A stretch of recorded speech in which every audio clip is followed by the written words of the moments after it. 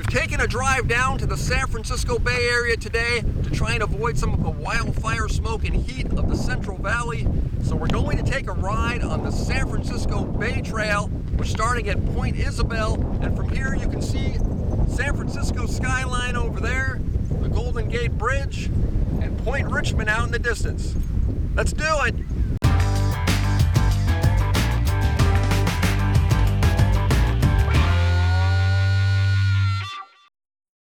The Point Isabel Trailhead parking area is located just down the street from the Costco and the Postal Mail bulk shipping facility on Central Avenue just off I 580 and I 80 in Richmond, California.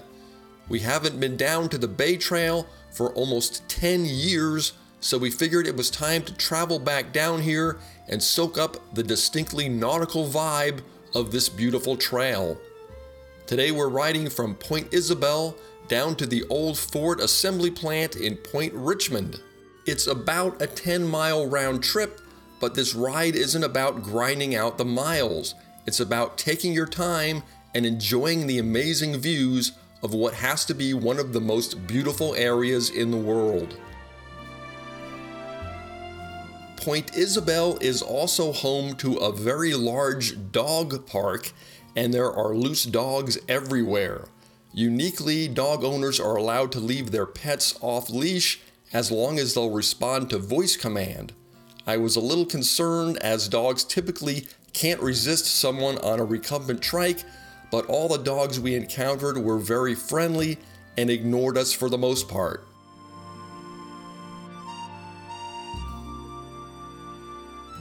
The large complex on the right is the Richmond U.S. Postal Service bulk mail sorting facility. So if you live in the Bay Area and you're tired of receiving junk mail, you can blame these folks.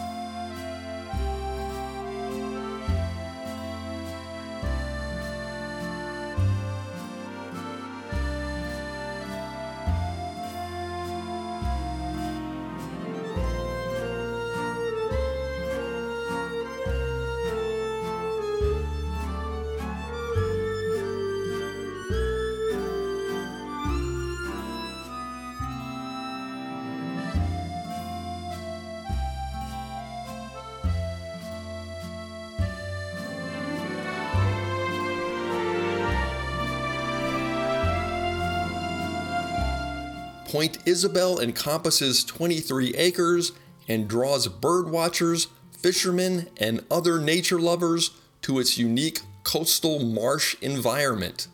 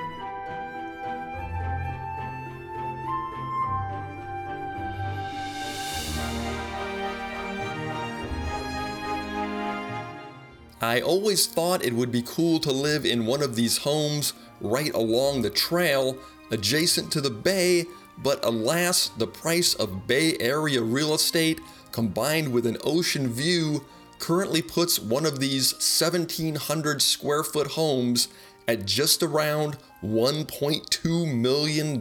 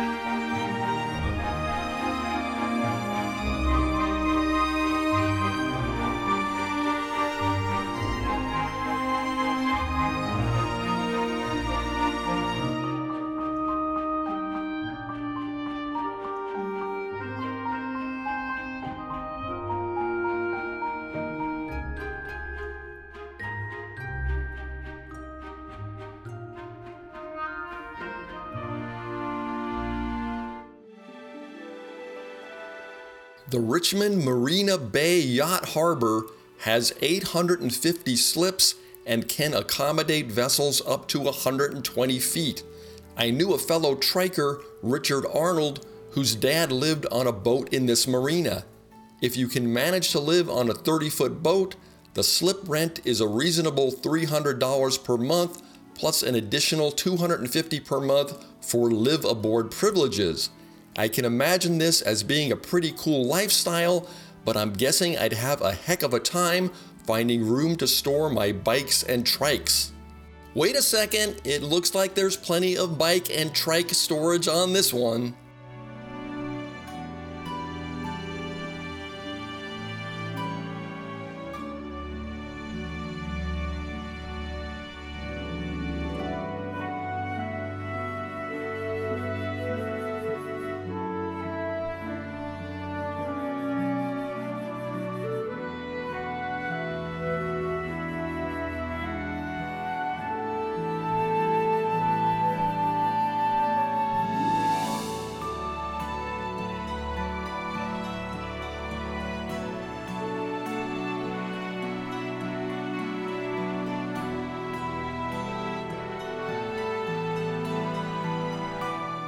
We're now approaching the Rosie the Riveter Memorial in Marina Bay Park. The memorial pays tribute to the remarkable women that made a critical contribution during World War II, taking on the manufacturing jobs left vacant by the men then fighting overseas. The last time I was here, I noticed an older woman carefully examining the memorial. After striking up a conversation, it turned out that she was actually one of the very women who had taken on a manufacturing job to aid the war effort during the Second World War. A genuine Rosie the Riveter. I promptly thanked her for her efforts during the war. She thought for a moment and said, Thanks. In all these years, no one's ever thanked me for that.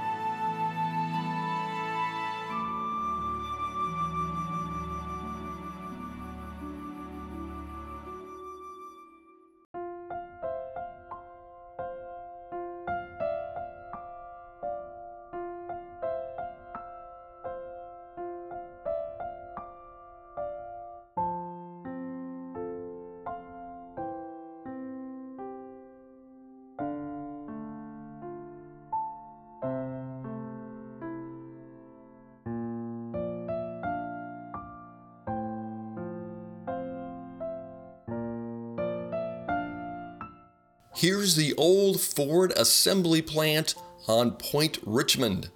Built during the Great Depression in 1930, the massive plant measures nearly 500,000 square feet. Designed by architect Albert Kahn, known for his daylight factory design, the plant features huge, seemingly endless walls of windows running its entire length on all sides. Originally one of Ford's largest plants on the West Coast, in 1935 it turned out 60,228 Ford automobiles, and by 1936 it could produce 400 cars a day. I thought it was kind of interesting that in 1937 the workers went on strike looking for an increase in pay, which at the time was $6 for an eight hour day. During World War II, the plant was converted to wartime production, turning out military jeeps and constructing tanks. Again, most of this work was done by women, making an invaluable contribution to the war effort. The last Ford assembled here rolled off the line in 1953, with the plant being closed in 1956. The plant eventually fell into disrepair, but the city of Richmond, recognizing its historical value, restored the building and it's now part of the Rosie the Riveter State Park, with most of the square footage rented to local businesses and the main hall rented out for events.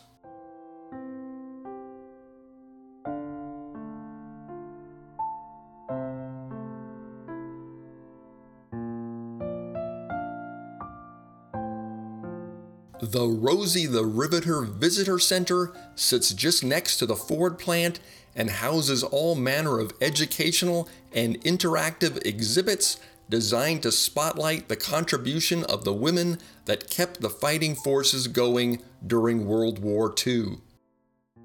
The Richmond Ferry Terminal sports a 1930s Art Deco design, helping it to blend in with the rest of the park. Here, for the reasonable fee of $4.50, you can catch the ferry going into San Francisco. That's as far as we're going today, so it's time to turn around. The trail continues all the way out to Portola Point, but that's an adventure for another day. From Point Isabel, you could also take the trail towards Berkeley and ride over a section of the Oakland Bay Bridge. Yet another adventure for another day.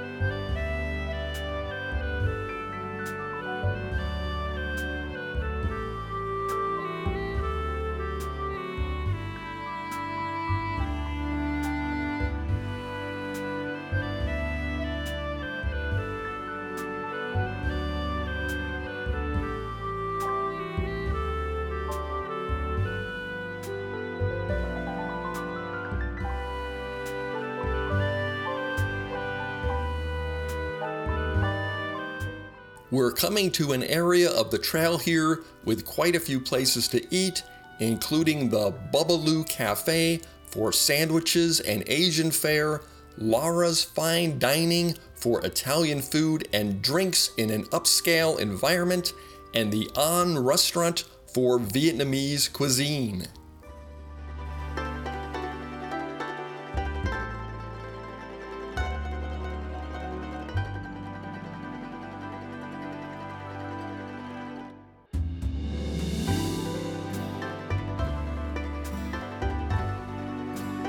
Oh, if anyone's looking for something to get me for my birthday, I'll gladly take one of those.